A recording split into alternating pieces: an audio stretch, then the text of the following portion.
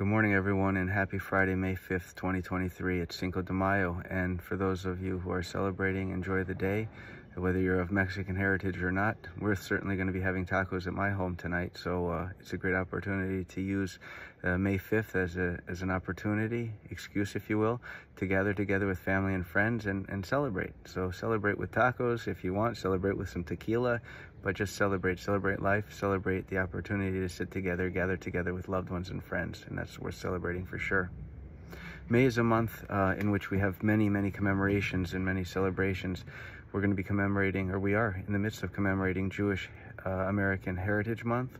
We're commemorating Mental Health Awareness Month, and we're also commemorating uh, Lupus Awareness Month. Now, I wanted to talk about lupus because it's a disease that very few people understand, and that includes doctors who are trying to treat the disease and patients who are trying to live with the disease.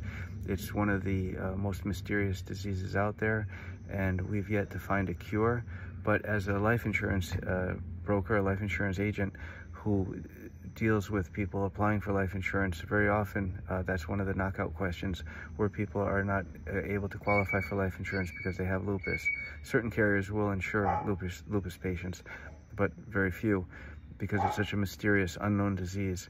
So if you have a chance, uh, go to lupus.org, L-U-P-U-S.org, read about the disease. You might know somebody who has it. You might get to know somebody who has it someone you know might get that disease. It's very, very common, more common than we know. But the problem is, is that it's hard to diagnose. So people might have the disease and not even know it yet. Um, but when they get it, if you're uh, educated and aware of what's going on, you'll be able to help that person cope with it. So learn about lupus. If you can afford to donate towards lupus research, please do so. And um, yeah, learn. Use this month of awareness to learn about that uh, disease. So have a great weekend. Let's all celebrate the day.